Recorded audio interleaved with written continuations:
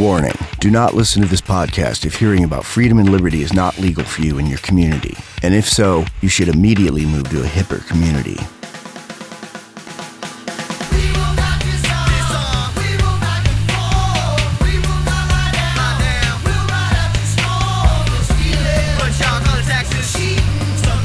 Welcome to the Freedom Feens Podcast, a weekly web lab where Michael W. Dean and Neema Vedadi cover the punk rockinist, hip hopinist current events, as well as timeless universal truths about life, liberty, and the pursuit of happiness, because there's no such thing as half free. The Freedom Feens Podcast, available from freedomfeens.com. That's F R E E D O M F E E N S dot com. Freedom Feens is proudly syndicated by Alterati.com, the Liberty Radio Network, and No Agenda Global Radio.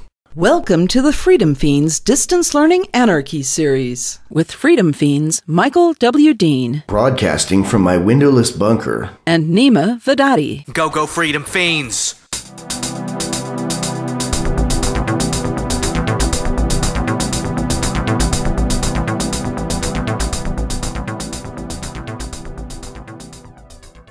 Don't bless me. How are you doing, Neema? I Yeah, bless you, my son. Yeah. Uh, I'm good. I'm good. Yeah. Uh, no, uh, this is enough. Just talk a little bit. Okay. Talk, talk, talk. Configuration feedback. Current Yeah. audio bit rate. Hang Yeah. on. Stop. Rolling. Neema. Neema? Yeah. Everything's trying to pod block us today. I keep doing I one know. thing and then the phone rings and something else happens. How you doing, man? How you doing, man? I'm good. Are we are we rolling? Or what? Yeah. I want Oh, to okay. say yeah, I want to say that we're being pod blocked. We are. We are. I had to take my shirt off. I put on long sleeves this morning because it was cool. Wow. I forgot that about Texas. In Texas, it'll be like cool in the morning to where you need something long, and then like after two hours, it's like sweaty and hot and. Ugh. Speaking of uh, things being hot in Texas, my boy Cody Wilson there got written up in the uh, local news as what's what's it say like law student attacks heat over 3D gun design. Oh yeah, a track seat. Yeah. Uh, well, it wasn't the local news. I thought it was interesting because it was the campus news. It's the Daily Texan, uh, which you know I sort of grew up around in college at least, and uh, I, I I like the Daily Texan, and it was just fun to be on campus again. And the first thing I see is is Cody Wilson sitting there with the Mosin. I was like, badass. He And, pulled out you the know, Mosin. I know I'm taking a lot of responsibility for his rise to um, infamy, which you know he had it all in him. All I did was convinced him that interviews are do- good and coached him and Yeah. was really patient with him, got him to do an interview, and he's like, "I'm never gonna do. I'm never gonna do an interview. I don't. I don't do that."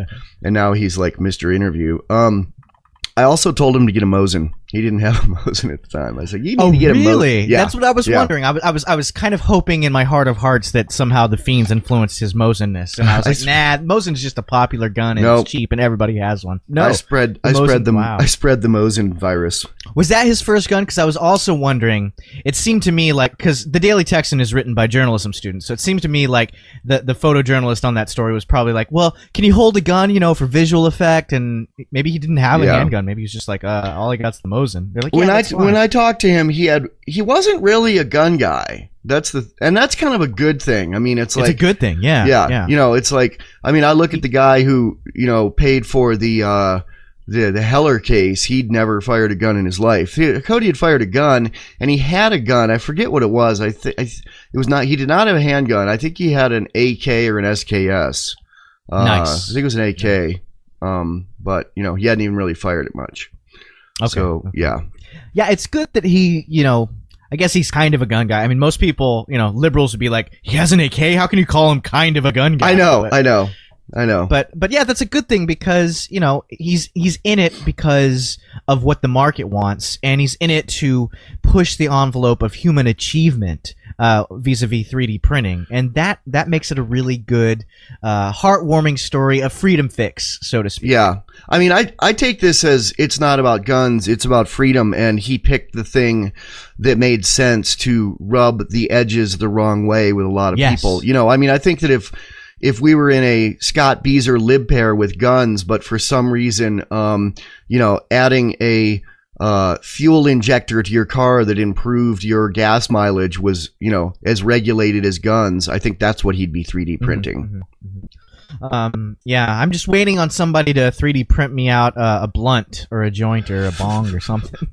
Well, that is I one guess a of the bong would be pretty easy to do, but yeah, a bong would be a, a bong's a tube, man. You could do a tube, Yeah, but yeah. um, yeah, th- that is one of the possible future applications of that is 3D printers is uh 3D printers for pharmaceuticals, which could be for drugs too. I mean, basically, nice. there's different ways it could be done. It could have, you know, a bunch of different petrochemicals that would mix when the prescription arrives by via the internet, or you know, so maybe, it would 3D print down to the molecular Well- level, is what you're saying? Like it would Well, I actually mean, create the chemi- the chemicals in the be- printer. Yeah, it'd be really easy to have something that would just mix chemicals. I mean, that could be Yeah. done right now. But, you know, I've heard it discussed to the point of like, you know, it'll have hydrogen, nitrogen, carbon, and oxygen and like build the molecules. Yeah, yeah. Because with those with those four things, you can build pretty much most of the most of the recreational drugs and most of the pharmaceutical Wow. drugs Yeah. out there. That would be amazing. That's what that's what I'm crossing my fingers and waiting on. Um, um, so and, and the thing about Cody is in the Daily Texan write up, it didn't seem like he he's taken this sitting down. As as we most most of us know, um, his printer got taken away. Um, and at the end of the story, it says he plans on getting a license and, and trying to lease a printer again.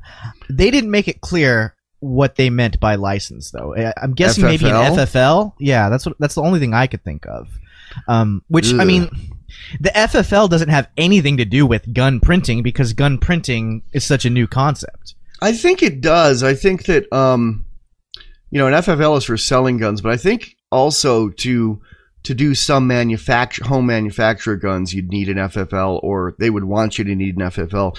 The thing with his thing is, I heard an interview with him yesterday on some gun podcast. Um, there's a lot of gray areas in what he's doing. He actually also yeah, that's, said that's kind of my point. Yeah. he actually said also said that he is uh um licensed he's getting a he's incorporating in Wyoming. I thought that was interesting.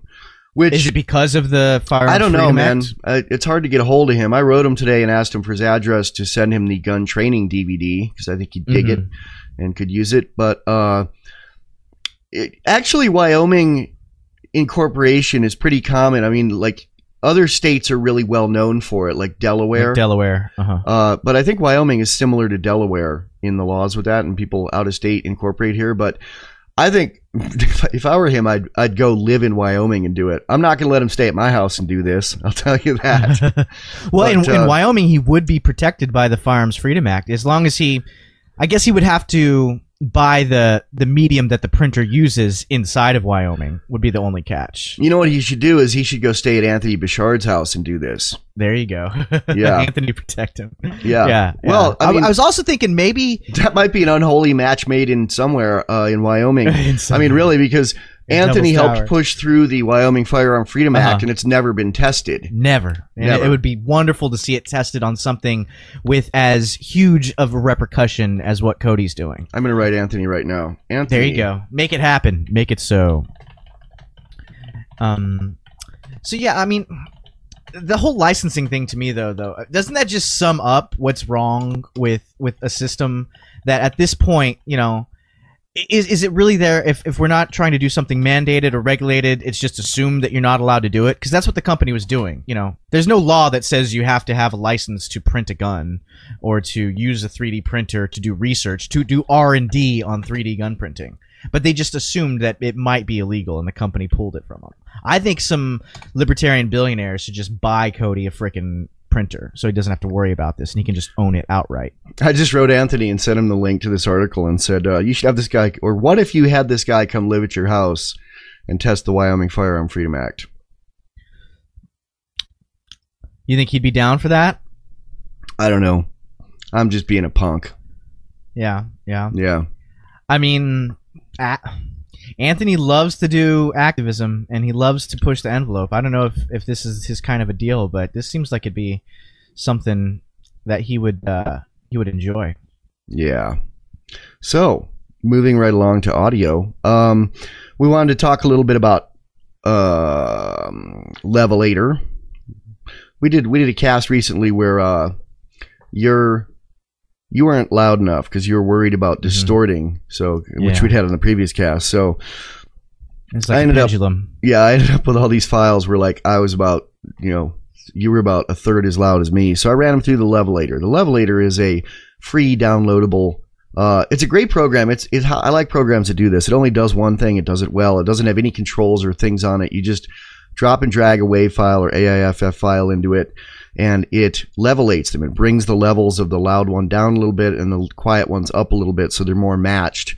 And then outputs a new file. And I just took those files and then did my usual voodoo on them, and it worked pretty well. Yeah, seemed to work really well. It's interesting because when you first On the posted Sunday on the show. blog about Levelator, I was like, when would you ever use that? Would you just get it right the first time? Yeah. And uh, I guess that was level. That was the universe's way of letting me know, hey, this is when you would use it. Yep. And uh, let's see. We wrote to the. I wrote to Daniel Nathan, Nathan, Nathan, Nathan, the German man who created Butt. Butt guy. Yep. hmm And asked him if he could add uh, input levels, and he said implementing that wouldn't be a problem. The problem is more that Butt's development has stopped. Oh, his butt has stopped developing. and then he says, "You use Windows, right? Maybe when having a good a good day in the near future, or I'll implement it." maybe I'll implement it. Maybe I No, won't. and then he has a smiley winky winky face, which says, "I think he will." okay, Uh, okay. and that's cool, man. It's like I like software developers that you know. I mean, think about Microsoft or or Apple. If you wanted a feature added, think about you'd have to get like ten thousand people to sign a petition, and then a year later they do it. With but you know, I just email the guy. I'll bet if I emailed him and sent him a hundred dollars, it'd be done tomorrow. But I don't have it, so yeah, yeah. because the fiends aren't giving enough donations. We really need more fiend donations. Uh, we need fiend weekly, the monthly subscriptions, even as little as five dollars a month. And we really would like people to go on iTunes and review the Freedom Feens and Anarchy Gumbo. And we'd love people to go on to Amazon and review Gun Training with the Non-Aggression Principle and Guns and Weed: The Road to Freedom. and you get something in return. We'll send you buttons if you become a, a monthly donator.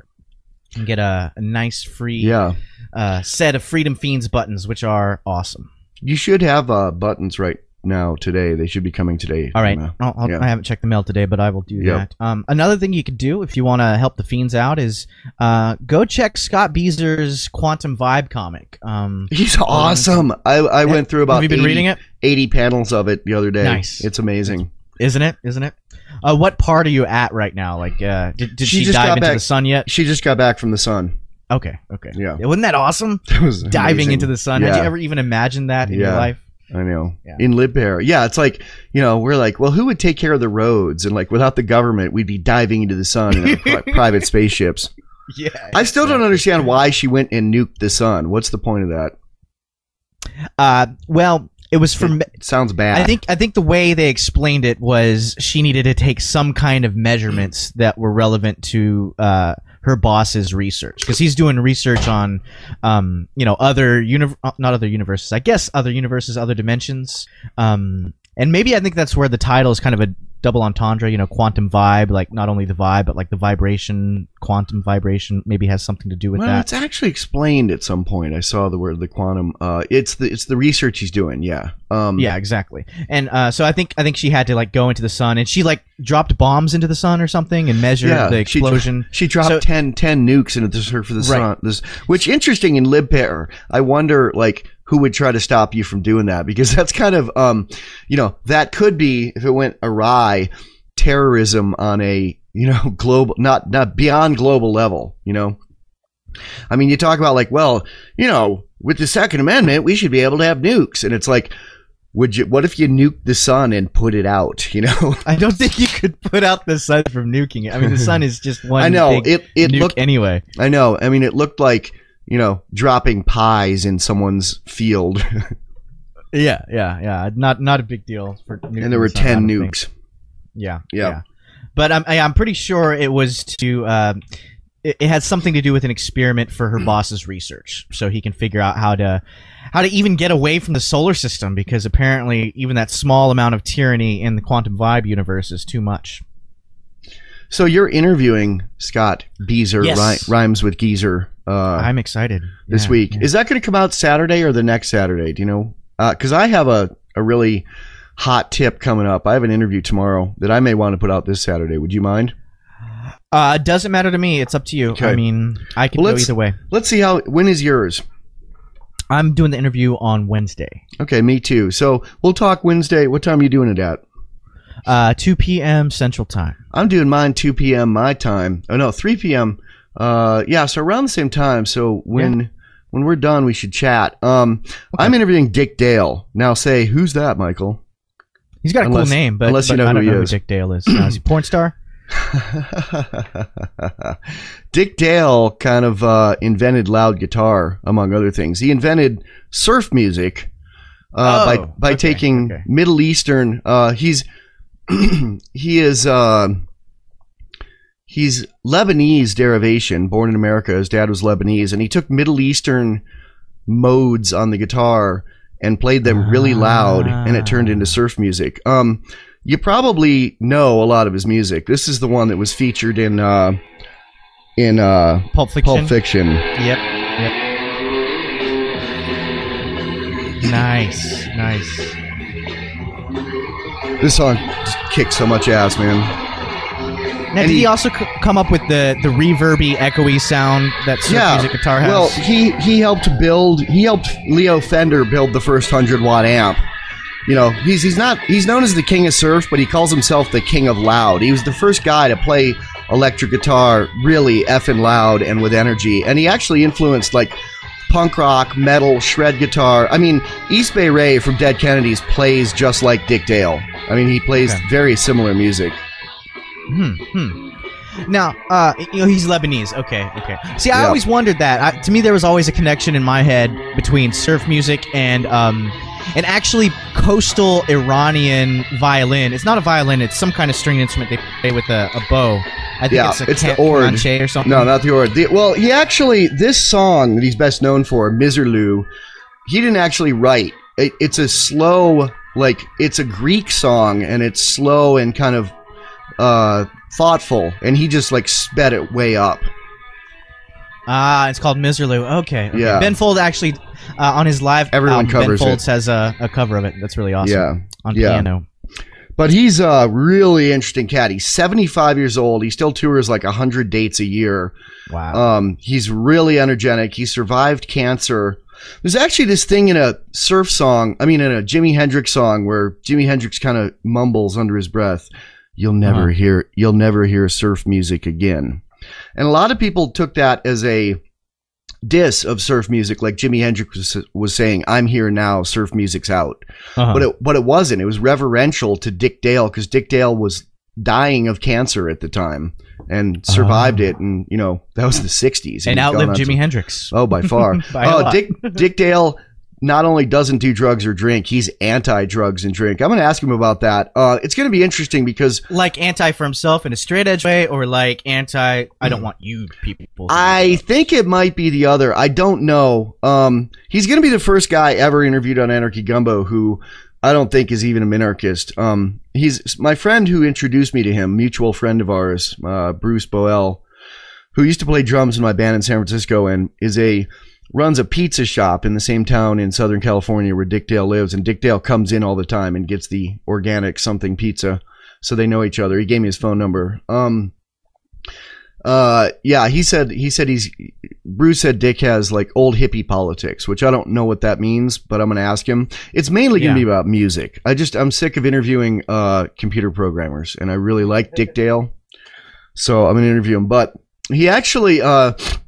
Well, he did things that were kind of straight edge in a way. Interesting. You know, maybe he invented punk rock, metal, and straight edge. It kind of sounds like because in the 60s, I mean, Miserlou's from like 1963.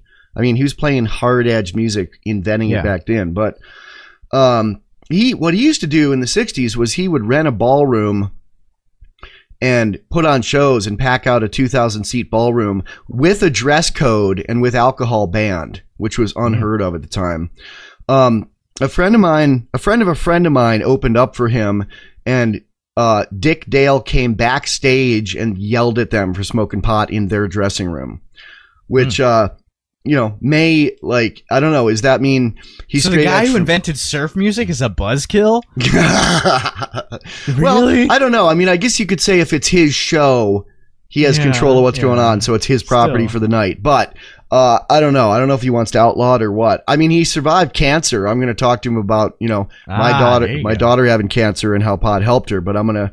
I don't know. I don't want to get in an argument with this Dick could be a really interesting interview. Yeah, because not It only really is could. Dick Dale, but yeah, this is this is the first time where he could have the complete opposite politics of you. Well, and uh, we'll and I don't want to. I don't want to argue with the guy, man. I have too much respect for him. Um, Maybe you'll he- teach him something. that's pretty haughty of, of me to think, but it crossed my mind. But no, I'm gonna I'm gonna just see how it goes and talk. I really want to talk about music with him a lot because, I mean, you listen to Dead Kennedys and it's like Dead Kennedy's guitar style really sounds a lot Mhm. like Dick Dale, and East Bay Ray has said in interviews, you know, that he's uh, yeah. I mean, here, like, let's listen to you know, let's listen. Ask him what he thinks of um of modern dubstep sounds. You know, like really loud, super, almost grating uh synthesizer and bass sounds that almost sound cacophonic or do sound cacophonic. They're really Cacophon- loud and obnoxious. cacophonic, ca- cacophonic, cacophonic. cacophonic. I believe it is. You can call it cacophonic, Cacophonic. if you You, and your words, you and your reinvention. Okay, here's Dead Kennedys. This sounds like fucking Dick Dale. Listen.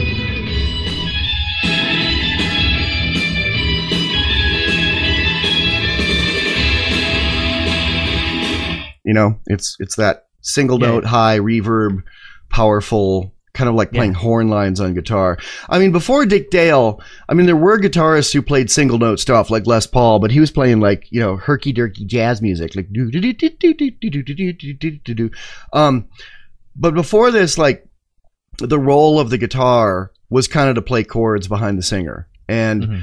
and people played through like you know eight watt amps, and he got together with Leo Fender and got the you know hundred watt hurt your ears, make them bleed amp, and turned it up to eleven and played as So hard saying as he, he, could. he sort of made the guitar part of the main event.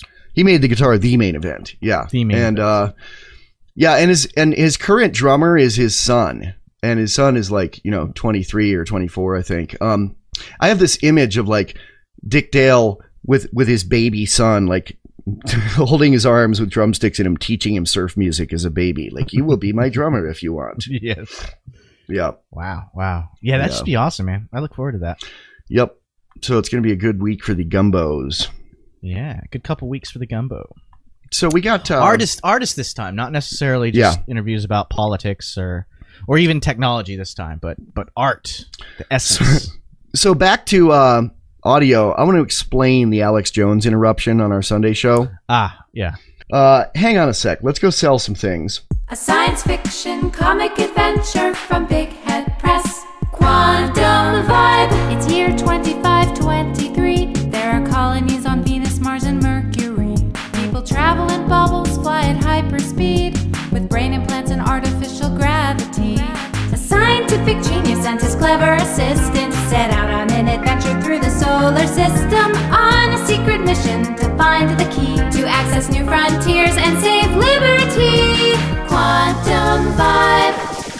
There's a robot girl and zany creatures made with genetically engineered features. And corporate villains crave the opportunity to steal a profit from others' ingenuity. A scientific genius and his clever assistant set out on an adventure through the solar system on a secret mission and save liberty. Hi, I'm Michael Dean from the Freedom Feens, and like you, I'm concerned with privacy on the internet. The electronic police state is strangling our previous protections, and the central scrutinizer is trying to squint into all areas of our lives. That's why smart people surf the net with a VPN or virtual private network. I use a VPN from Boleh VPN. Boleh VPN has your utmost security in mind and will allow you to surf, email, and do other computing tasks without leaving a trail of breadcrumbs across the internet. Unlike many other VPN providers, Boleh VPN doesn't log traffic. With Boleh VPN, you can change your apparent location or disappear completely. Boleh VPN has been around since 2007, which is OG in the VPN world. Boleh VPN is easy to install and configure. Best of all, it can be had for less than 25 cents a day, which is a small price to pay for this much security. And if you open a support ticket saying you heard about them through the Freedom Feens, they'll add three extra days free. That's Boleh VPN at B O L E H VPN dot net. At the end of our Sunday show last week, today is uh, October 9th, by the way. So this was October 7th. The end of the show, Alex Jones's show interrupted our show and we started yelling at him. Mm. And some people wrote me and they thought like that was just something we staged and played a recording of it because the beginning of that episode Why would we do that? the beginning of that episode, I was interviewed on Emberly's show, Voluntary Yeah. Values, at the end of her show, right before our show. And we set it up ahead of time. I did it as a joke where they started talking about my new DVD and I came in and said, This is the central scrutinizer. I can't do it right now. But um you know, and so people heard us inter- inter- being interrupted by Alex Jones at the end, and this is the central scrutinizer. And people thought, oh, that they're just bookending their show with interruptions. This is kind of funny. It was not. It was real. What it was was, um, I I mumbled into their show, in in the LRN mumble instead of calling in or doing it by Skype. And Ian set that up, and then Ian left the studio because he wasn't on. He's not on on Free Talk Live on Sundays. So he told them he forgot to tell them to turn that channel off when their show was done. So it was open during our whole show, and they're on the GNC network. Uh, Free Talk Live is on the GNC network, and so is Alex Jones. And there was some crossed wire at GNC, Mhm. And like Alex Jonesy's show started playing over our show the last two minutes of our show. Now I've heard things like that happen before with Free Talk Live, where like you know you'll get something from GNC interrupting them. Um, and that's what happened with us. And we just, I didn't know what it was. And I started screaming at Alex Jones and calling him a fat little piggy constitution humper. Cartman wannabe. Yeah. And you didn't hear it because you'd muted that channel. Then you unmuted it and you heard it. Have you gone back and listened to the whole thing? I did. Yeah, I went back and listened to it. It's, it's pretty funny. but yeah, I mean, I was worried about that extra channel at the beginning. Like when I first got on, I You was like, mentioned "There's it. an extra channel here." it. I said, don't worry about it, man. Don't worry about it. Yeah, Let's go. don't worry Let's about go. Yeah. it. but uh, I, I'm I'm just glad that that was the only problem with it was at the the last you know two or three minutes it was Alex Jones coming on because at least we got some humor out of it. You know, wouldn't it have been awful if if somehow that crosswire was playing over the channel the whole time? I don't know what we would have done. I think it'd be cool if we were playing over Alex Jones's show the whole time and didn't know There it. you go. I There think we'd go. know by now. We'll do it in reverse. I think there's still a few stragglers who listen to both who haven't progressed in their in their journey from Alex Jones to the Freedom Feens. They're still caught in the middle, stuck in the I middle mean, with you. I guess Alex has his Clowns to the left of me, and jokers to the right. Alex Jonesers to the right. Speaking of uh, Pulp Fiction or Reservoir Dogs, I just can't. I can't listen to him for too long, or I. I don't know.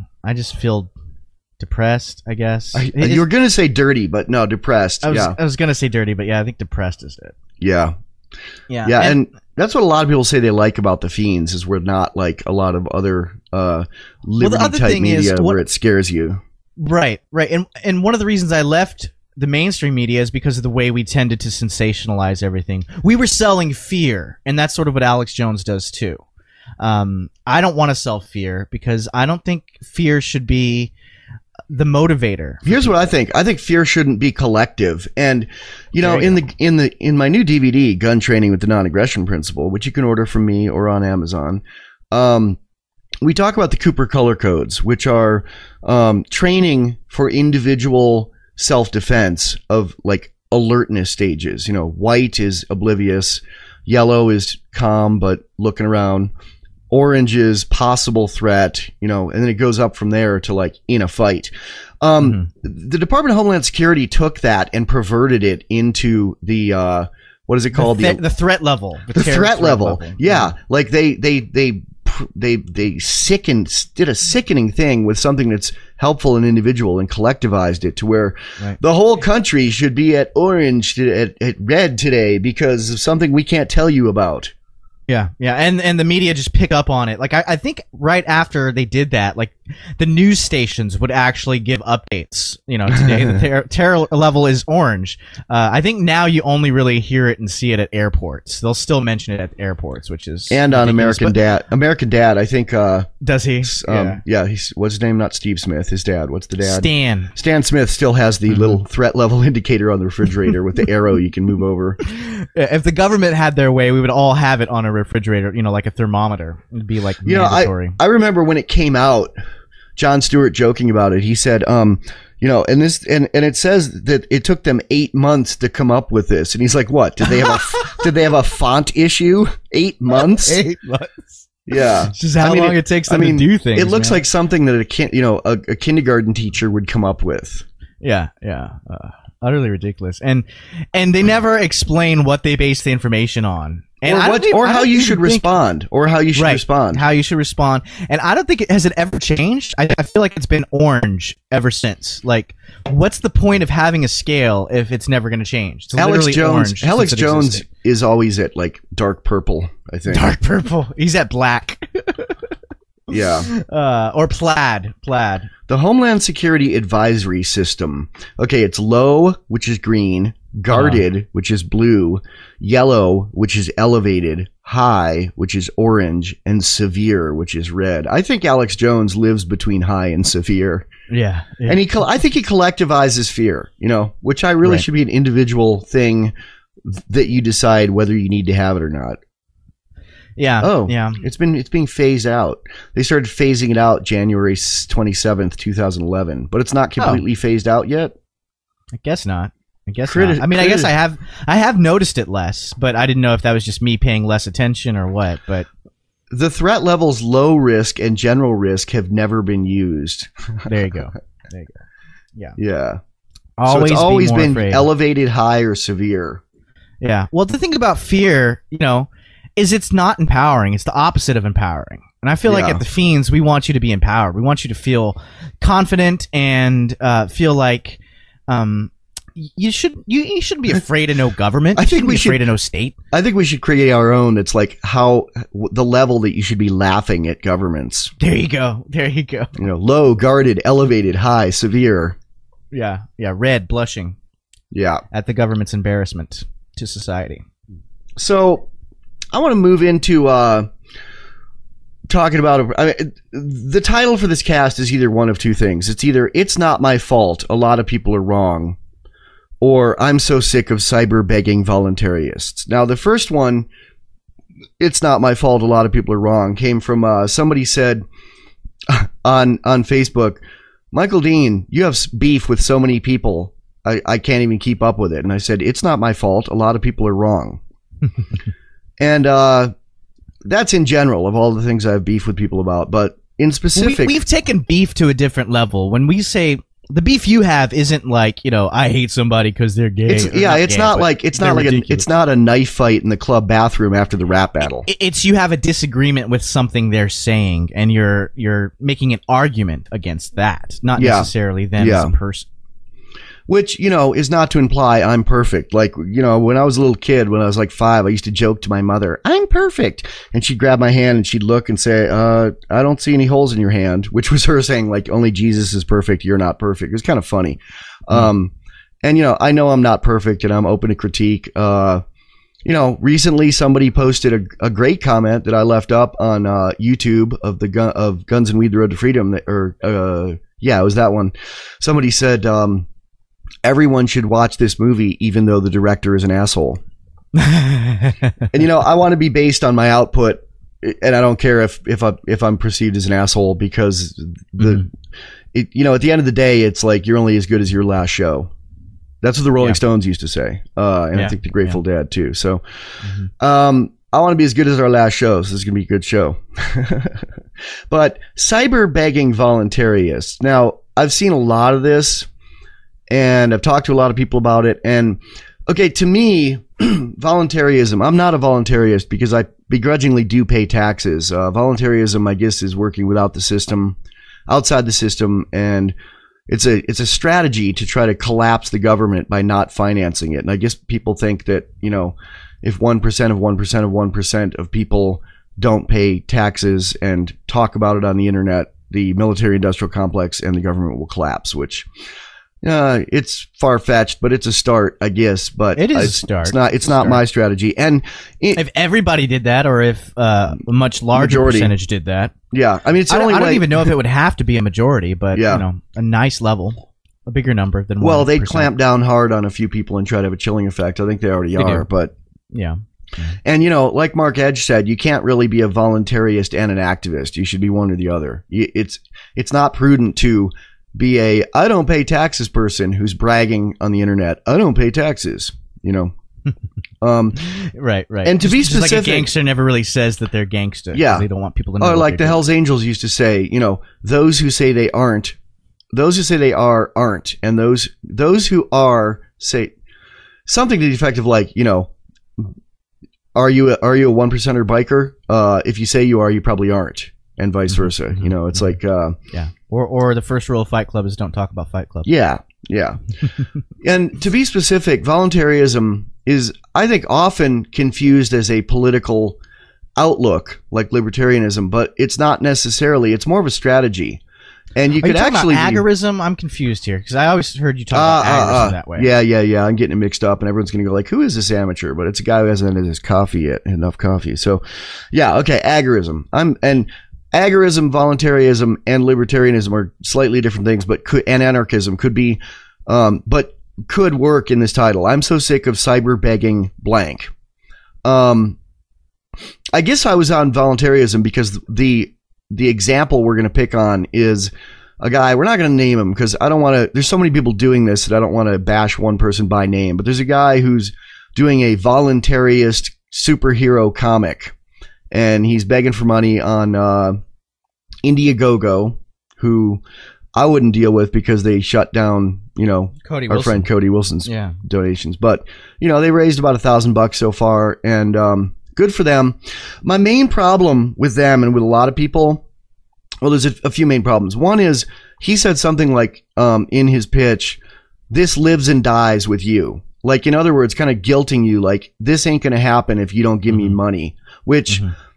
I think is bad form because I've um I've accepted donations for almost everything I've done, including the Freedom Feens, but I've never said to somebody, "This isn't going to happen if you don't give me money." You don't And- hold it hostage. Right, and our expenses are about forty bucks a month right now, and they're about covered. Um, but if they weren't, I'd pay them out of pocket. But I've got money now, and I'm doing well, or fairly well, kind of well. But even when I was starving and living in a piss in the sink, you know, rat hole, making DIY or Die the movie, and traveling around Europe and getting money to do it, um, you know, and part of the money was from selling things. Not from uh, begging, but even some of it was from you know applying for grants from individual organizations, not governments. And uh, I made it happen. And I never said to anybody, this ain't going to happen if you don't give me money. I never held it hostage like that. My second problem with all of this is I believe it kind of goes back to the AA thing. There's one of the traditions in AA is we are self-supporting through our own contributions, which is why AA they pass a hat at the meeting, and I think that's a good a good model. Um, you know, because basically the reason they do it, and they they say this in the book, the Twelve Steps and Twelve Traditions. Um, they explain it. People are really used to alcoholics always asking for a handout. So that what they Mhm. feel like is once you get or panhandling or begging their family or stealing or you know not paying the rent or whatever to get alcohol, that once you're sober, they feel like you need to change that perception, and you don't change that perception by telling people. I'm a recovering alcoholic, or I'm a voluntarist, or I will a- drink unless you give me money. I'm a- or I'm yeah, or I'm an that's a good point. Or I'm an agorist. You know, you you don't tell them you're sober, you show them you're sober. And Yeah. you know, in AA, there's a lot of uh, there used to be a lot of value put on like you know you get a job, you don't beg anymore. I think now is with the tainting from the recovery industrial welfare complex. I think there's a lot of like no, you get sober and then you get on disability, which a lot of people I knew in San Francisco are still doing. But well, uh, okay. So, what if somebody came back at you and said, "Well, Michael, this is just a modern way uh, to get investors easily if you don't know a lot about business and can't go and market this to venture capitalists and find people to invest in it, or go public on the stock market like companies do. This is just a simple way for people to uh, show their their idea to investors and say, "Hey, would you like to be a part of this project?" Playing devil's advocate here, Michael. Okay, you're right. Um, I'd have I I would co-sign that more if people removed any of the The this threats. lives and dies with you, which kind of reminds me of what um Stephen King did. Stephen King, when he first, when his publicist said, "There's this thing called the internet, Stephen. You should embrace it." What they came up with was he wrote a book that was internet only and released like three chapters of it free, and then said, "You need to give me donations, and then I'll write each chapter." And Stephen King has a lot of fans, and some people did it. And every chapter he had to get a certain amount of donations for, but it kind of tapered off, and he never wrote the last third of the book. And people were really pissed because they'd already made all their donations and never Uh-huh, got the rest of the uh-huh. book. People called it um, hostageware. Right. and he right. eventually, like ten years later, um, put the book out in paperback form, and it and it, it's one of his lowest liked books. It's not a it's not a great book, and uh, also like everyone who'd already paid the donations for two thirds of it had to pay the full They, they still to had go- to buy the book. to buy the yeah. book. And I want you to ask Scott Bieser about that too, because he's a writer and. Uh, you know, all writers kind of have an opinion of, of Stephen King, usually good, Well, I, even I if they don't you're like him. right but- that the most the, the distasteful thing about cyberbegging is when people threaten to not do the project because I feel like if you're saying that, what you're saying is It's I'm not not, worth- passionate. I'm not as passionate yeah. as this project as I am about getting donations to do the project. I mean, I sold guns to finance guns and weed the road to freedom. Right. If you really are passionate about the project, you're going to make it happen, even Yeah. if that means you have to work nights and not see your wife. Yeah, I mean, I- Uh, or I you have wrote to my- bust your ass. And I and- wrote my first novel working a day job and then coming home at night and work, you know, working eight hours a day in an office and then working eight hours a day at night. A lot Mm-hmm. of really influential people did. I mean, um, you know, not to compare me to him, but uh, Hemingway, you know, he's a war correspondent. Hemingway went and got shot at and wrote about it for newspapers. You know, that that's a lot less pussy than please give me money or this won't happen.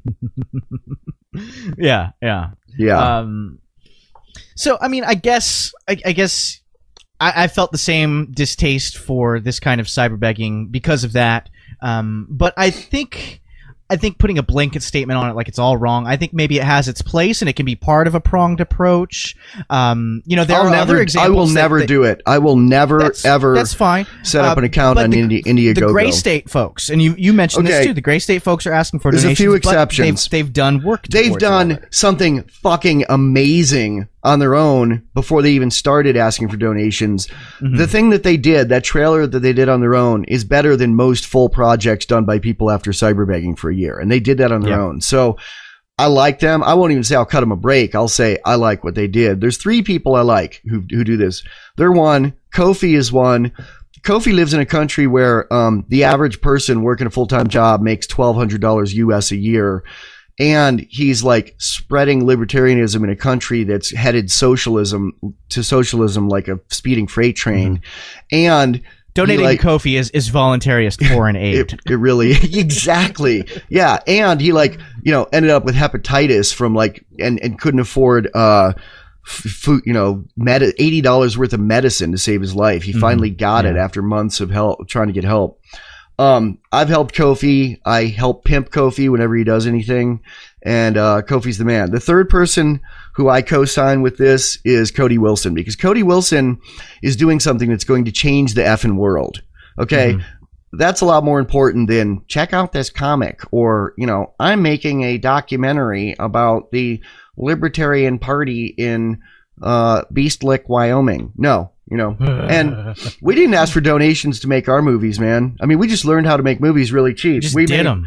we Yeah. made guns and weed for okay my first movie um DIY or Die cost about eight thousand dollars to make, and I did get a five thousand dollar donation for tax. You know, basically, I, I got a tax free status through an umbrella organization, uh, through an arts organization who co what's the word co sponsored it. I forget, and they take like ten percent. A lot of arts organizations do that, and I wrote proposals and went to the um, went in San Francisco to the uh, Foundation Center. I've talked about them before, and sent out like a hundred packets on my own dime, and got like a few donations of fifty and hundred dollars, and got one for five thousand, and you know used it to make the movie. I would have made the movie anyway, and I was making it before that. Um, the Hubert Selby Jr. It'll Be Better Tomorrow movie cost about twenty five thousand dollars to make, and uh, some of it came a little bit of it came from donations. A lot of it came out of my pocket, and I was starving because of it for two years making that movie. I made it back, and then like a little bit more. I mean, I made I made about eight cents an hour Right. for the for the three years I worked on that movie. but but it's the passion that really made the project and if you're saying something like well this lives or dies with whether or not you give me money that doesn't I really bode not. well that, I say you're not really say- an artist.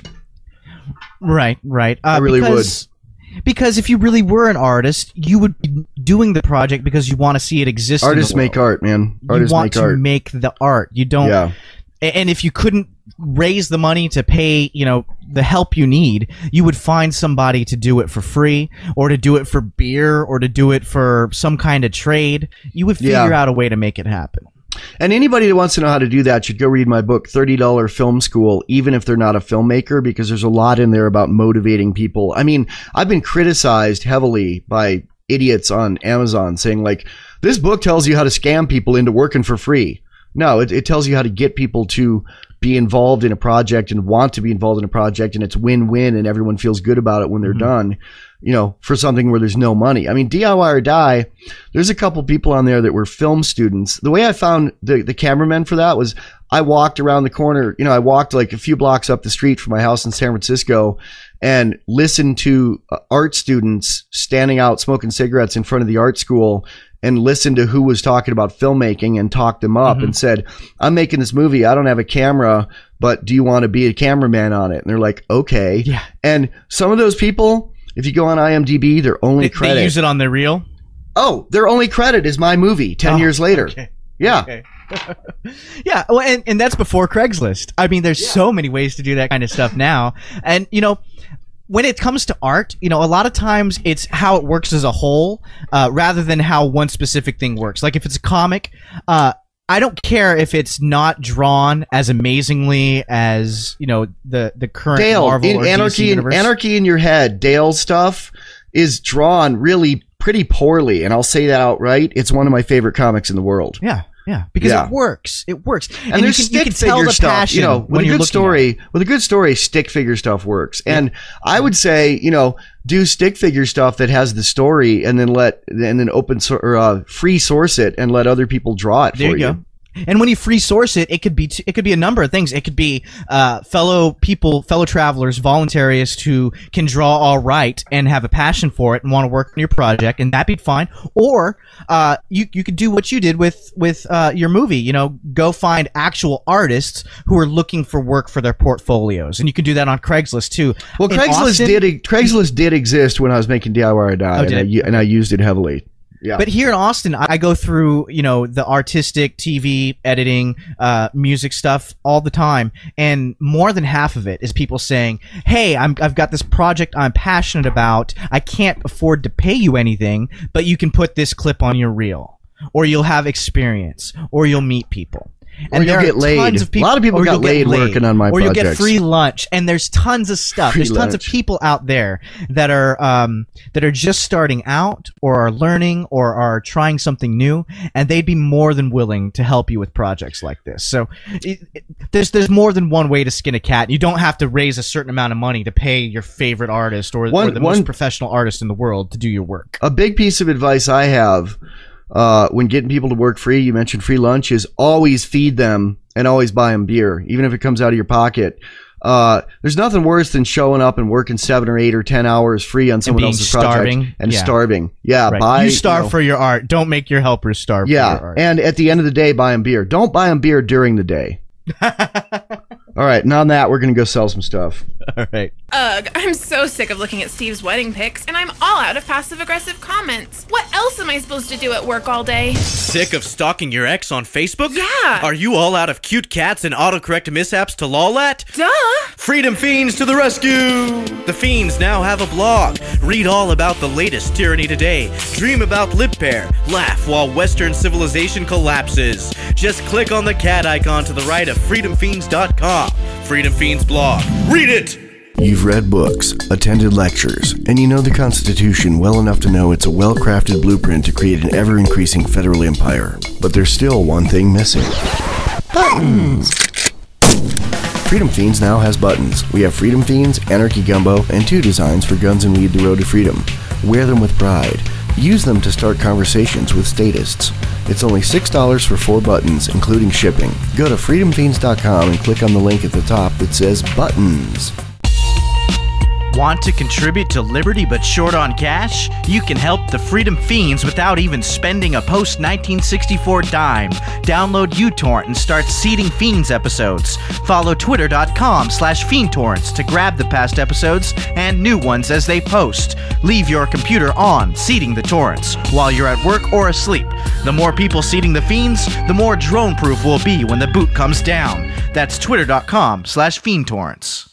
Yeah. So back Yeah. to why we hate cyber begging voluntarists, anarchists, libertarians, and agorists. I don't. I don't hate them. I'm more don't hate 'em. ambivalent than you Yeah. about this. You may I don't, hate I don't them. hate them. I just am really, uh, I find it really distasteful, especially agorists, because agorism is supposed to be the underground economy where you do it right without government intrusion. And if you're saying you're an agorist and you're begging for money, I mean, it's one thing to like crash on a friend's floor and, and let him buy you dinner when you're traveling and doing stuff, but another thing to like make it your business plan. And there are people doing this. Uh, I got to, re- uh, I got it to brings really up a deeper question though. What's the difference between an investor and a donor? What do you think Well, that is?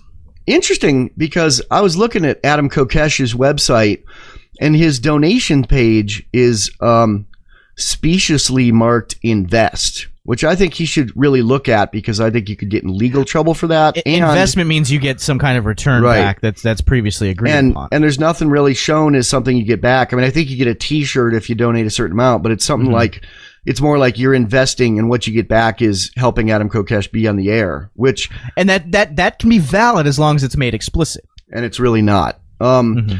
Yeah, and you know, I mean, I got a compliment on you on this. Nikki Darling, who is also disgusted with all this, as I am, said, and props to Neema for delivering pizzas instead of virtually panhandling.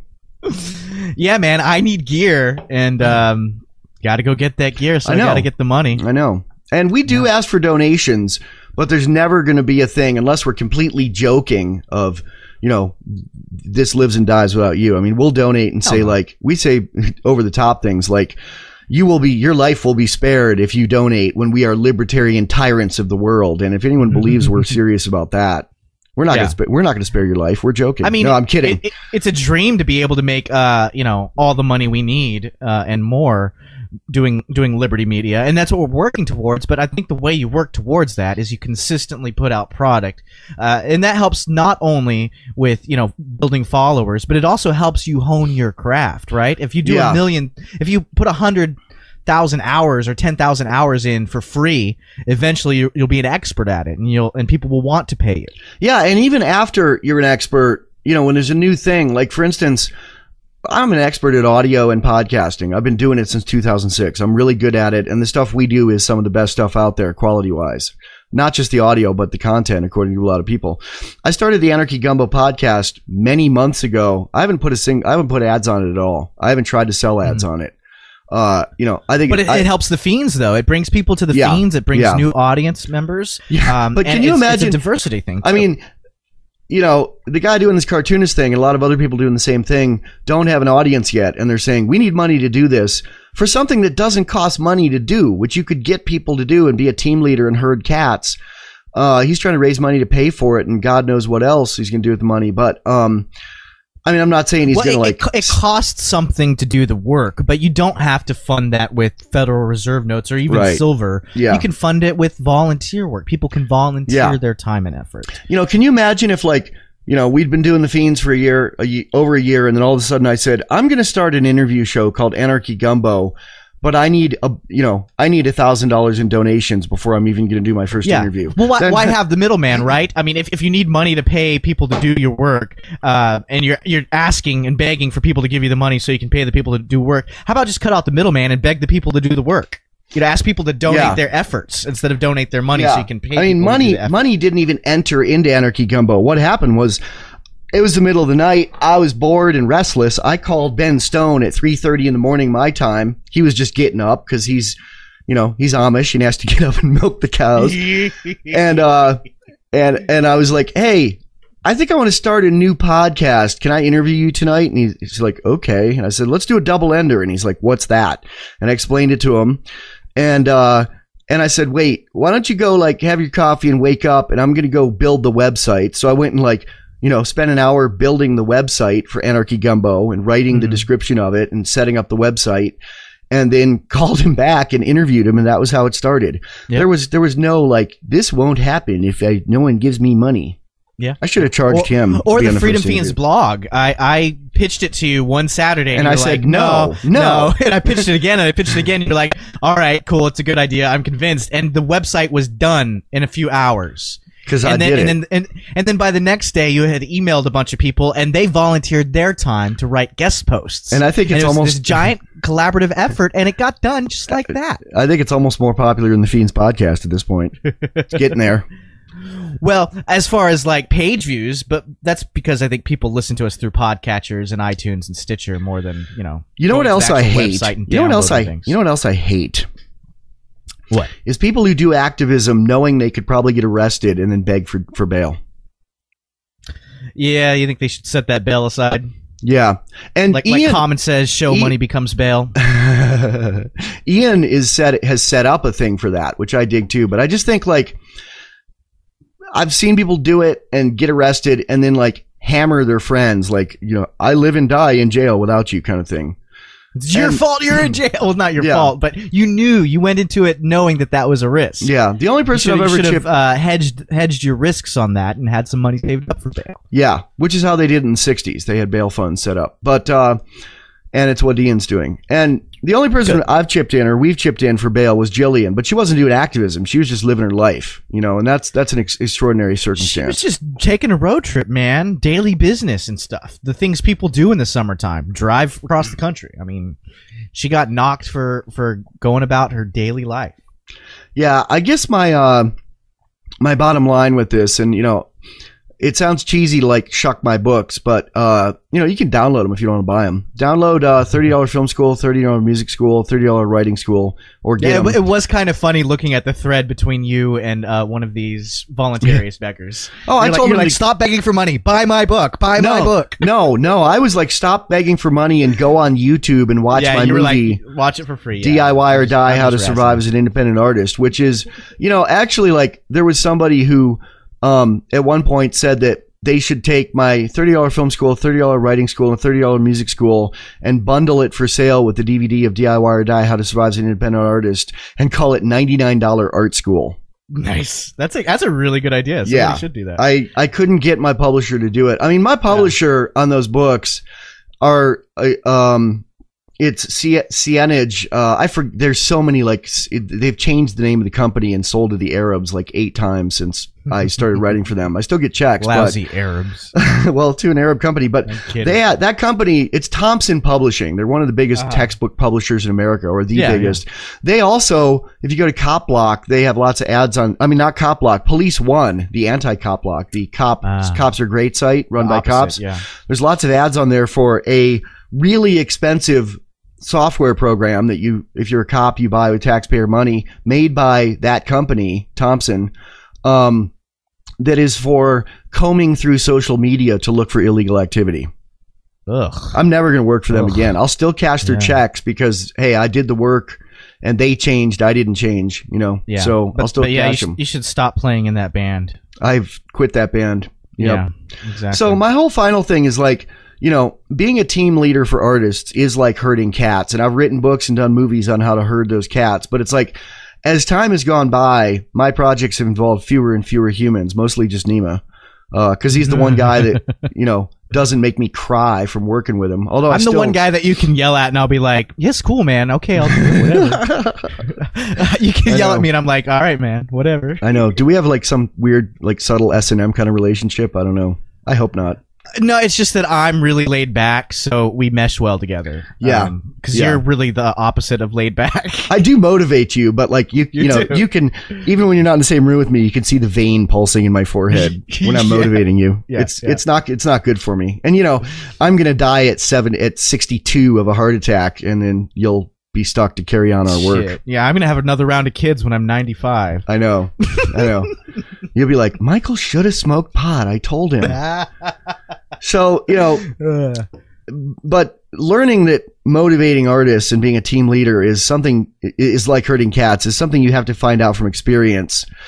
It's also why i've made myself a jack of all trades. It's like on my first two movies i paid with i paid an editor. I didn't like having to it wasn't the paying him it was the uh having to like work on their schedule and like you know have discussions with them and like so i just learned to edit. I learned to edit with you on on the Guns and Weed movie. And my latest movie, which had a budget of two hundred and six dollars, I did all the editing on, and it's probably technically it's probably the best movie I've ever done. And interestingly, when I posted it on IMDb, Uh, I filled out all the stuff. It's really complicated to get something on IMDb, and I've done it, you know, for five movies now. Um, when I did it, it got a, uh, you know, like certain things are will be rejected, and you have to fix them. Oh, the budget. yeah. Yeah. the budget. Like it, I got this autoresponder back thing that said, uh, two hundred and six dollars seems too low. Are you sure that's the budget? Yeah, yeah. Well, um, I mean, it obviously cost you more in time than that. So, Oh, yeah. but, it didn't cost you that much in actual. It didn't cost me that much in time either because I've gotten really good with my time. I mean, we spent a year and a half really on Guns and Weed. I spent three weeks of planning on the gun training DVD, three days of shooting, and three weeks of editing, and it was off to Yeah. the printer. And like not just editing, but like writing the copy for it, making the one sheet promo, you know, doing the cover, making the cover, making the Yeah. layout files. You know, I've learned I've learned to do all that. I don't do it as well as like you know, uh, like the Muslim agorist, Davi, you know, he's an expert Mhm. with, with like page layout and Photoshop and stuff. Like, you know, I could have paid him some money to do the, the cover and it would have been 30% better. But I just, I didn't have the money for it. I didn't feel like doing it. So I just did it myself and it's pretty good, but it's not great. Why not? Why not? Have you seen I- that movie? I'm, I'm totally of that philosophy. I uh, I do the same stuff, and if I don't know how to do something, but I feel my art requires it, all I do is go to YouTube and type it in, and Yeah. somebody else is showing me literally Yeah. step by step Yeah. how to do it. Especially in a world where software can do pretty much anything that an artist used to do, uh, if you program it correctly and and tell it to do the right things. Uh, all, just just go to YouTube, figure it out, man. It's not have hard. you seen, have you seen the gun training DVD yet? It is literally on my DVD player, waiting to be watched. You know, I was going to say I've like, been busy. I, I I got my little part time job, and I was like, yeah, it's just gonna be part time for now. But uh, we we would like a lot of money this month, so um, I'm working six days this week. yeah, so give us donations or the Feens live and die with you. Right, that's obviously a joke. I don't care. It's at night, and I enjoy doing it. Uh, so If we don't Not get sixty dollars, if we don't get sixty dollars in the next hour, I'm throwing all every the. I'm, fiend. I'm taking all the equipment out and throwing it in the trash. It's trash day, and I'm just going to throw it all away. yeah, yeah, Yeah, You know, um, I think micro donations might be a good way to go too. If every fiend wants to give us a dollar a month, that would be great. Not like we're charging you for it, but Yeah. hey, one dollar, literally. If you if you listen to the Feens, you know, every episode or or once a week, think of it as a gumball you get in the machine as you walk outside of the grocery store. and Just that and that would in there. be and big it would be deal. like five thousand, six thousand bucks a month, which would we could That'd quit our day nice. jobs. But hell. we you know could. what's more reasonable, and I would I would really appreciate. I'd like it if people did that, but I, I mean, we do have a thing that's set up for a three dollar minimum donation uh, a month automatically. You can Mm-hmm. do that, but uh, what I would really like is if some people did that and other people just went and reviewed us everywhere they could, iTunes, um, Amazon, blogs, etc., and started torrenting us because the torrenting is more important. You know, we don't live or, we don't live or die with the donations, but there may t- come a time where what we're doing is shut down, even though it's legal now technically, and it's technically covered by the First Amendment of the United States Constitution. That thing is out the window, man, and it's just a matter of time before they start going door to door, not for guns, but for free speech or both. And when we are droned, you know, when we're thrown in some camp or even just like stopped with an injunction of like you're going to go to prison if you keep doing this or we're going to, you know, take your house or whatever. Um if we stop doing it, uh if everybody has already downloaded it on BitTorrent, even if they're not sharing it yet, if they have it in their BitTorrent, they can just flip a switch. They could just all turn on BitTorrent when that happens and it will not go away. Yep, yep. It's a wonderful thing. Yeah. Um, although I would not stop if they gave me an injunction. You would have to. You don't have a house. Shut. You don't have a house stop yet. Talking. I don't have a house, and I'm younger, and I understand that, and that's fine. If you would, I mean, I, I I don't blame anybody for wanting to stop in those cases, and I am a real laid back person, except when somebody is aggressing on me from uh from authority. You know. Yeah. Uh, Yeah. Stepdads, teachers, uh, Cops, cops, telling you to not judges. throw snowballs, get snowballs in their faces. I, I, it's like a, a switch gets flipped in me, and I go into like this Hulk smash mode. Um, so, Well- so yeah, if they if they put an injunction on, I would probably podcast every day. I'd be like, Yeah. whatever. And I'm not saying the way to me is through my house. If you threaten to take my house, I'll stop. I'll do whatever you want. I'm not saying that at all. I'm saying my stakes are probably bigger, but um, Yeah. no, man, my my wife is so adamant about free speech and being able to do what people should be able to do. She'd join me on the fight. You know, Yeah. she'd she'd put up the house to hire the lawyers to fight. and and I would not hire Mark Stevens. I'd hire have to Gar- go there. You- I'd hire like- Garrett- like, I didn't have enough beef in this cast. I know, today. I know. Well, I'm on a diet, sprinkles. man. I'm on a diet. When you're on a diet, your body effing hates you, and I want beef. No, I would hire Gary Spence. You know who he is? You're, you're on an all beef diet. What are you talking about? Do you know who Gary Spence is? uh, no, I know who Gary Sinise is. No, Gary Spence is uh he's he's in Jackson, Wyoming. He's he's like uh incredibly famous for let's see American trial lawyer, widely recognized as one of the greatest trial lawyers of all time, member of the American Trial Lawyers Hall of Fame. He states that he has never lost a kim- criminal case either as a prosecutor or defense attorney, and he's not lost a civil case since 1969. And actually, he's semi-retired and he's wealth more wealthy than God, but he's in Wyoming and he's very much uh I would call him if I was in a case of like First Amendment crap. You know, I think he'd. I don't know if he'd take it free, but I think he'd look at it and talk to and you know, it's like my wife's a paralegal for a lawyer. Uh, you know, most people calling Gary Spence would get put through to a bunch of people, but if she if I hired my wife's law firm, you know, she could call on behalf and say, "Hey, I'm calling from the law firm of blah blah blah," and she could actually get him on the phone. So Yeah, yeah, awesome, yeah. awesome. So yeah, um, are we done with uh voluntaryists? He he did the? Karen Silkwood case, man. you know who Karen Silkwood, is? No, They made a movie about her, man. Uh, what's it called? It's called Silkwood. Um, she was she was like finding the dirt about some nuclear power plant, you know, doing things that were incredibly dangerous to people, and she got like run off the road and murdered by their thugs or by somebody's thugs, and then Gary Spence handled the case. That's the kind of stuff he takes. Okay, okay. Yeah. he's he's a muckety muck.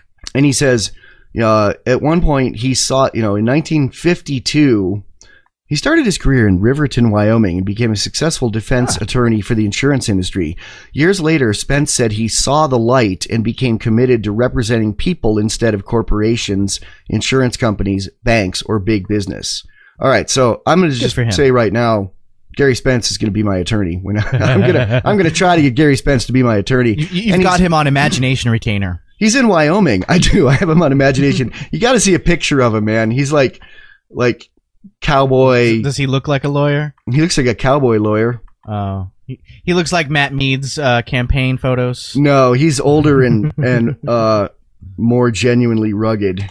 He's probably sued Matt Mead. I don't know. He seems like he would have. Screw Matt Mead. Gary Spence. I didn't say it. I didn't say it. Yeah. Yeah. I did. I did. What you gonna do? What you gonna do, Matt Mead? Yeah. Yeah. Um, He wrote, he wrote a book. It's called The Making of a Country Lawyer. Oh, okay. He's got a cowboy Is, hat. is he the one who invented that phrase? Nah, I'm just a simple country lawyer. I'm just a simple country. Lo- Probably. Probably. That's funny. Country lawyer. Let's look that up. yeah. Yeah, From man. freedom to slavery. My imaginary lawyer can beat up your injunction. Okay, okay, I see him. He's got he's got fringes on his jacket. Yeah, he's got a buckskin jacket with fringes and a cowboy hat, and he looks like he could kick your ass, and he's like 70. Although he's eight- he's like he looks- 83, man. He's 83. Wow, Wow. that's Yeah. old. That's old, but not too old, man. You can be old and still cool. It, it can happen. It's Yeah. possible. I'll grant it. He I'll did lose. He did lose. I'll I'll allow it, but keep it tight. um, he did lose one criminal case, but prevailed upon appeal.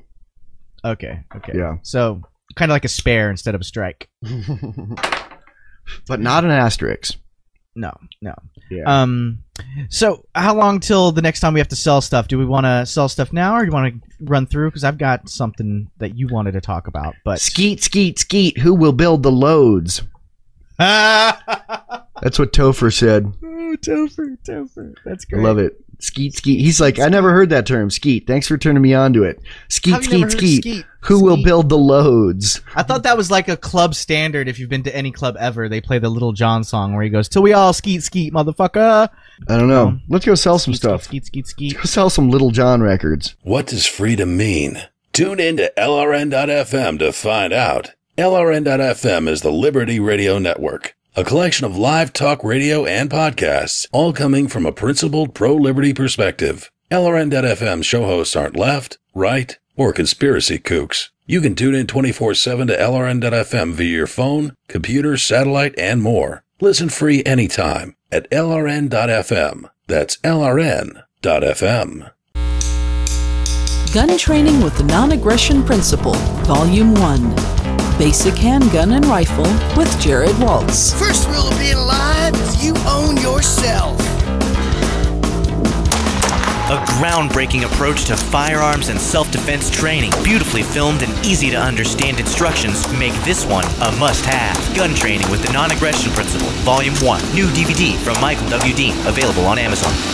Your house is your property. Have you swallowed too much of the state's poison? The Freedom Feens will stick their fingers down your throat and hold your hair back while you hurl. Check out the new show, The Freedom Feens Agenda, on Adam Curry's No Agenda Global Radio, streaming live every Thursday from 3:30 to 5:30 p.m. East Coast US time. Listen live at nagradio.com. That's nagradio.com. Call in soon before they get droned. Yeah, this is the last one here, uh, last one of this episode. Um, there is a small chance this one's going to get inter- interrupted by men coming to my door. Ugh. What kind of men? Men in hats? Pl- plumbers. Oh. okay. yeah, we actually need to spend like between seven and ten grand and have them dig up the concrete in the back patio and fix the uh, the pipe going out to the city sewage pipe. So until we have the money to do that, um, Are you sure? Maybe it's the central Poopenheiser. no, it's 'Cause we've absolutely we've, that. We've been having problems too. Uh, our sink was backflowing. Like the sink, our kitchen sink would be empty, and then the next morning, both sinks were completely full. Like water was going yeah, backwards. we got that in the basement, but it's uh, it's not just water; it's kind of dark colored. Let's just leave it at that. Um, yeah, basically what it is is brown with water. these with these old houses, they actually made the sewage pipe out of tar paper before before PVC plastic, and um. It worked pretty well. It was like ro- layers and layers of it. It's like you know half an inch thick of tar but paper. it, it's past its its Yeah. lifetime. so uh, about once a year, we have to get the plumbers to come root out. It's not roto rooter, but it does what they do. They they come and like get up on the roof and uh, snake it out. You know, with a with a snake that has a camera on it, so they can see you know a hundred feet away where the blockage is. So. I'm glad we're getting it done right now because the, the snow thawed. It's above freezing right now. It's a bitch. We had them last year come It's like a colonoscopy for your house. it is. It is. We had them come last year, like in the winter, up on. I I felt sorry for them. They're up on the roof in the snow, in the wind, in the cold. Like yeah. That's a shitty day. Ah! So yeah, they're coming between two and four. So I don't know when that is. Okay. We'll see. Okay. but It's almost two. So yeah, you want to talk about something? What is it? IP horror and the Supreme Court. Yeah, man. Uh, you sent this to me. I I didn't realize what it was at first. Um, but apparently, there's a the Supreme Court's hearing a case that could change the way you resell things. So we always talk about IP with regard, usually on this cast, To original uh, sale. well, also to media. Um, to media, you you basically own it and what you do with it at, at this point.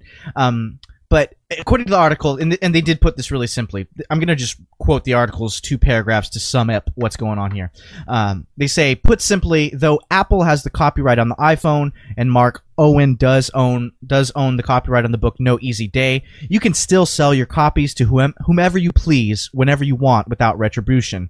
That's being challenged now for products that are made abroad. If the Supreme Court upholds an appellate court ruling, it would mean that the copyright holders of anything you own that has been made in China, Japan, Europe, uh, would have to get you'd have to get permission from the original makers in order to sell it. this would end flea markets. It would end library, you know, book sales. It would well, they'd probably have an exception because they're the government, but um, it would end.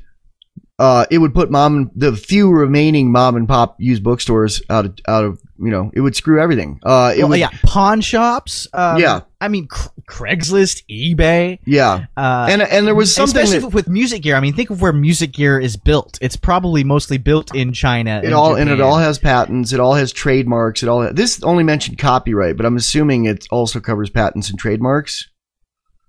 I mean, because Um, like yeah. There it, there's not really a copyright on an iPhone. There's a bunch Right. of patents. There's probably copyrights on some of the software, but um, and and if not, then it's just a small step to to take the Yeah. next step.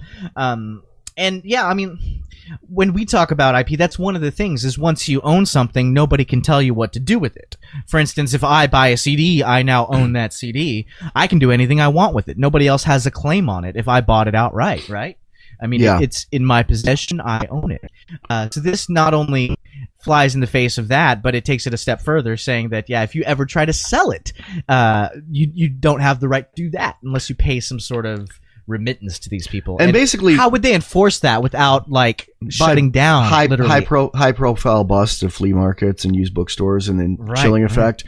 Um, and this is being decided by the Supreme Court, and it's one of those things that like nobody knew about, and it's kind of under the you know they're trying to do it so you don't know about it. And I also thought um, what what actually made the case happen, like the reason the case is, is in the Supreme Court, uh, I thought it was a beautiful example of free enterprise making items cheaper for consumers, uh, and of course the state, the corporate state, trying to stop that. So the case stemmed from a guy, uh, I guess his name is Supap Kirtsaeng. I'm sure I'm pronouncing that incorrectly. Um, he's from Thailand, and he came to America in '97 uh, he was studying at Cornell University, and he realized that his textbooks uh, were Uh, yeah. so much cheaper to buy in Thailand than they were in New York. So he got all his relatives to Thailand to buy the cheap books, shipped them to him, and then he sold them, making tons of money for himself and also providing a service to people, right? All these people that he sold the books to, they got they had more money to spend on food or clothes or college tuition.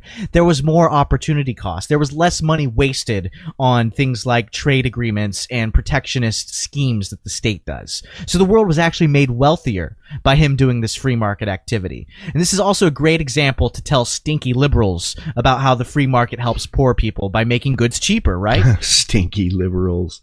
Well, it's it's true, isn't it? I mean, Yeah, Yeah. the company is complaining because the company lost money, but the company was screwing people over by charging them too much money. This guy, who was just some some college kid, uh, he, through the profit motive because it would make him money, realized a way to make a good cheaper for people. That's how prices go down. yeah, and you know, really, what this is is applying a government model to copyright, even more so Yep. than already. Because, I mean, think about originally taxes in America. I mean, I don't like any taxes, but they have changed for the worst by far uh, over the years. When they originally started, the only taxes were on corporations, and individuals were not taxed. Then they added an, an, an income, which is basically constitutional, and then they unconstitutionally added an income tax, and then they states added sales taxes, and now everything is taxed at every level where originally it was only taxed originally you know like you buy something from the original manufacturer or from the re- original retailer and you pay a tax you make money on you make you know the corporation makes money and you pay tax on it now think about how money is taxed at every point you know Yep. if if i buy if if i buy a guitar effects pedal from you that, that you bought, you know, you're the fourth owner on it. I'm still supposed, you're still supposed to pay income tax on that sale or sales tax. you know? Sales tax. Yeah. Really? Yeah. I guess you are, but that's You're taxed every time. Every time money changes hands, you're technically supposed to pay for it. And that and, And- think about how that raises the cost of goods and Yeah. the cost of doing Yeah. business because you're paying all of that. I mean, I don't know what the numbers are, but I wouldn't be surprised if 40% to half of the costs of any good are are taxes at various levels. Also, or minimum wage, you know, tax various government intrusions that have added to the cost of goods. And you know, it's really funny how stinky liberals uh, and stinky conservatives or ba- well-bathed conservatives think that um, that uh, raising taxes to pay for all of the things they want to do good is good, and they feel like someone else is going to pay for it. The poorest people in America pay tax all the time, even if they've never filled out a tax form. You know, you buy a candy bar, you're paying sales tax, but you're also paying the tax on the trucking company that brought it, the store that sells it, the company that made it, the company that sold each of the ingredients to that company, uh, and a dozen other things along the way, man. The you're paying the the tax on the electricity in the store you bought it from. You're paying when you when you take the bus to go there. You're paying your your bus price includes the city bus price includes taxes on gasoline. You know for the bus, yeah. everything. They're they're like the most efficient mafia operation you could think of. They literally, without question, get get a cut of everything Without you every even- transaction without, you even knowing noticing. it. Yeah, yeah. When you when you know renters are like, well, landlords should pay taxes and homeowners should pay taxes, but not renters, and I'm glad we don't. You pay taxes. Your rent includes taxes. Your rent includes the property, uh, you know, a share of the property tax. It as well as all the licensing they had to do to get people to Yeah. come inspect the property and the building codes and the, the pool license for the people who came out and checked out the pool and the hot tub. and and the you know the salary of the bureaucrat who studied satellite photos to find out who had a pool so they could tax him the pool tax which we talked about before and you know sometimes we say things like in passing and you're like yeah it doesn't really happen like you said or people will say that or i'll say it um like you said you know in that ad we say like for the VPN, we say, do you do you want do you want to surf porn in private, or just be able to look at what you want to without some tech goon hired off a pizza box? And you're like, what the hell is that? Did you make that up, Michael? That's that's funny. And I'm like, no, the T, the the TSA is hiring people off of, and DHS are hiring people off of p- ads on pizza boxes now. You'll probably see some and deliver some. Have you started that job yet? Uh, I did, yeah, uh, last night, and I had a blast, man. Um, they say you can't go home, but it felt like home. Nice. Um, I did it, you know, four years in college, same place, same locale. I still uh, remembered the whole uh, delivery area. Like I barely had to look at a map. I would get, like- I would get an address, and I would know in my mind exactly like where falling off a was. bicycle. I could Yes, probably go be a bike messenger in San Francisco now, you know, 18 years later and, and, do the same and still thing. remember where the addresses are. although, I, yeah. although I'd be huffing and puffing more than I was back then. yeah. What does it say on the pizza box? Is on your pizza box? Is it a TSA ad? Hell no. Hell no. Is it is it like in Futurama where it has the Italian guy Don't, smiling? don't tip the driver. Don't tip the driver. oh no, no. Luckily, it does not. Um, no, man. Uh, tips at this location are are really good. Uh, I worked four hours yesterday, and I made um, I made forty dollars in tips alone, and then you get thirteen dollars. I got thirteen dollars for gas. Uh. in addition to minimum wage, so if you just count my tips, it was ten dollars an hour. Plus, I get seven dollars an hour for minimum wage, and uh, like a buck something for every run Nice. I take for gas. So it's 17 bucks an hour for four hours and and that's that's average so it's a it's a decent way to to work at night not interfere with the Feens and make money for uh, new turntables and a camera and uh, audio equipment to make the Feens better and to make my art uh, easier to produce So before we go into talking about how Facebook is trying to shut down the Feens, I want we have a correction. Um, someone wrote in for your information. I'm listening to the Thursday Fiend Show. RBN. We were talking about that um, radio station getting shut down. Uh, Ah, know, the right. sovereign citizen stuff.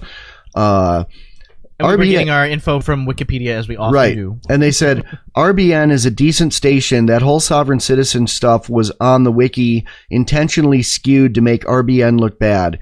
Sam Kennedy was a host on RBN that teamed up with Tim Turner, who I believe is a Fed snitch. That's what someone sent me. you know, I can believe that. I remember when I interviewed Larken Rose, and I was like asking him about something, uh, and I was like, "Yeah, I got that from your wiki page," and he's like, "Yeah, the wiki page is wrong because people hate me." Yeah. Um, so yeah, and uh, I could definitely see that.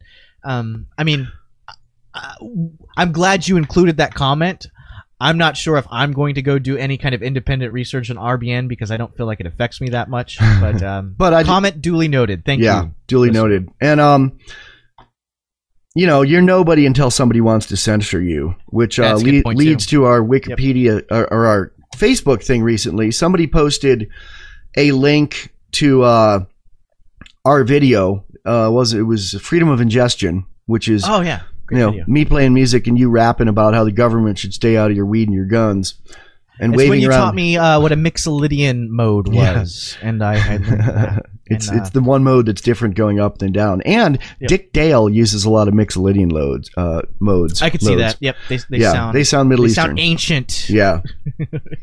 yep. So um, so when when I clicked on this link, Facebook gave me a security alert that said the link you're trying to visit, and this link was YouTube, which YouTube you can click with impunity. A real YouTube link is never going to be Yeah. viral or mess, with because it's you up. YouTube. I- Right. I mean, it's it's like number two Google rank. Google Yeah. owns it, and it's Yeah. Alexa ranking is like three or something. Maybe this is Facebook trying to fuck f with the competition, but uh, no, I think it's a bunch of people or several people complained and marked it viral when it you know like a virus viral when it wasn't to try to censor us because you get a security alert when you click on that link on Facebook that says you know it's got a big like exclamation point and a triangle. Security alert. The link you are trying to visit has been classified as potentially abusive by a facebook partner.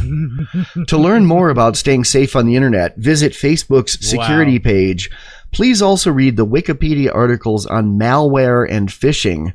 And then there's a mcafee logo mcafee antivirus and it says to stay safe outside of facebook get the free mcafee site advisor plugin so Ah, so they're This- spamming you. they're spamming spam. you. Yeah, they're trying to wow. scare you with something that's not scary, telling you you need their product to buy their product. Ugh, ridiculous, man.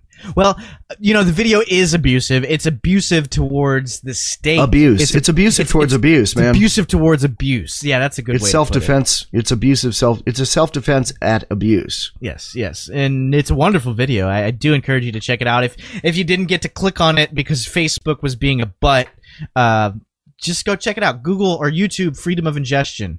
Um, it's the concept of uh, you know. You have the right to decide what goes into your frickin' body, and if the founding fathers uh, could have foreseen, I don't think they, they even imagined something as tyrannical as a drug war, something as tyrannical as the government deciding what goes in your body.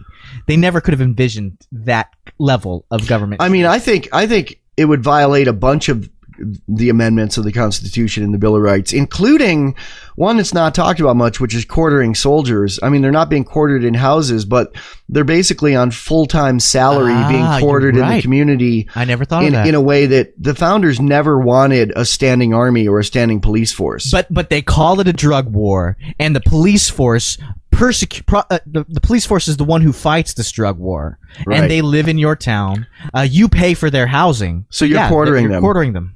You're Yeah. right. That's that's great. I love that. yeah, I mean, I hate it, but I love that connection that you made. thanks, man. Thanks. Yeah, man. Yeah. Thanks. Uh, we should use that more. Which which amendment is the quartering of soldiers? Is it the fourth? I don't know, but uh, quartering. We're, we're, we're not really constant. We don't really, you know. I learned all that, and I've had to forget it all. yeah, yeah. Well, Um, I mean, there was actually the there's Bill of Rights. It's like, oh, that's cute. Now here's real freedom. there, it's the Third Amendment, man. It's it's that important. It was Amendment. like gun, free Yeah. speech, guns, and no quartering of soldiers. And actually, there's a um, Onion piece that I think was it's a video that I think was making fun of Second Amendment people. That it was uh, it was an interview with someone from it was a lobbyist group in in D.C. that was supposed to be protecting the Third Amendment. And it was Mm-hmm. like, well, no one's quartering soldiers yet, but that could happen anytime. It was supposed to be like ridiculous, but I'm like, I think it You'll- could happen. I think you're right. No, I I, I say I think it is happening. I think it is happening. I think we should we should pimp that more. Um, we should because because that helps people to understand what's going on with police forces now and what's going on with the drug war. Uh, let's be Third Amendment advocates for a little bit. Let's put on our little constitutionalist hats and and let's let's explain to people that hey, if you're a constitutionalist, the cops are basically quartered soldiers. I, I think that might be a better title for this. The cops are the the drug war violates the third. I don't know. I'll figure it out, but uh, or put it in there somehow. But yeah, that is something to point out. I mean, you're quartering them with your tax money and your your property tax or your rental part of your rental money, whatever. You're quartering them as your neighbors. Yep, Yeah. yep. Mhm. Yeah, and quartering, if you don't know, is a kind of slightly archa- archaic term that means having to allow them in your home. Uh, right, right. you know, in that was one thing that the founders hated about the king was that in England and in America, you know, since they didn't have barracks or they didn't have, you know, place to put the soldiers, they'd put them in your home. Soldiers could knock on your door and say, "Hey, I need your spare room, a meal, and maybe your daughter." Literally, I'm not kidding. Yep. And uh, yeah, Well, um, it's like in, in RPGs, you know, role playing games uh, on video game systems. Uh, how you, you're usually a soldier in some medieval time, and you just walk into people's houses and talk to them and like steal out of their cabinets, um, and that's just the norm Yeah. so maybe maybe that that's where it stems from. Yeah. Whereas, you know, when there's when there's a, a resistance army, people who support the resistance will often quarter people voluntarily. Although then then, kill them? you know, no, not kill them. No, let them. I oh, mean, court court of the the rebel army. yeah, yeah. Oh, gotcha. Well, I mean, that happened in the American Revolution, and that happens all over the world. But you know, you also risk like tre- treason charges and being hanged for giving aid and comfort to the enemy.